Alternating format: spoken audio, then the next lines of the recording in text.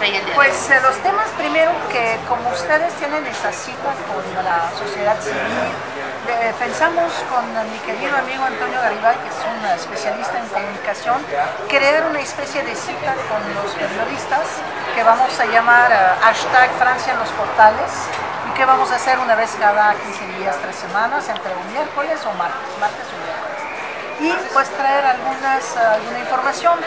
La primera información pues que quiero decir es que me fascina mucho esta, este evento de, de las Catrinas, que desde hace dos o tres años toma mucho auge.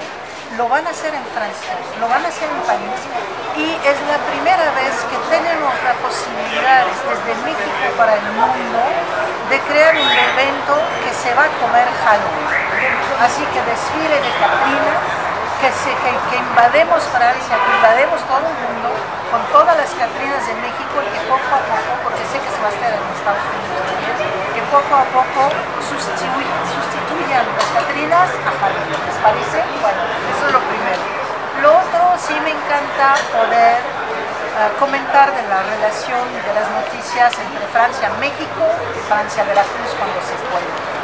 Bueno, Francia-México acaba de estar la ministra de Cultura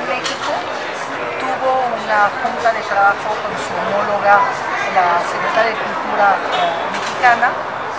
Estuvieron eh, evidentemente en el Cervantino dedicado a Francia este año, estuvieron inaugurando el Festival Internacional de Cine de Morelia, que tuvo mucha gente de Francia, tuvo encargados de la crítica del cine de Cannes, tuvo en jurado eh, diversos cineastas de- del Festival de Cannes, Eh, hubo, res- rescataron mucho en eh, películas mexicanas que estuvieron presentes en el Festival de Cannes y eso nos, encanta.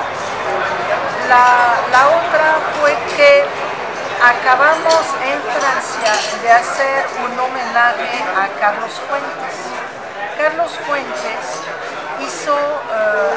de que estuvo como embajador de México en Francia, escribió más de 40 libros traducidos al francés.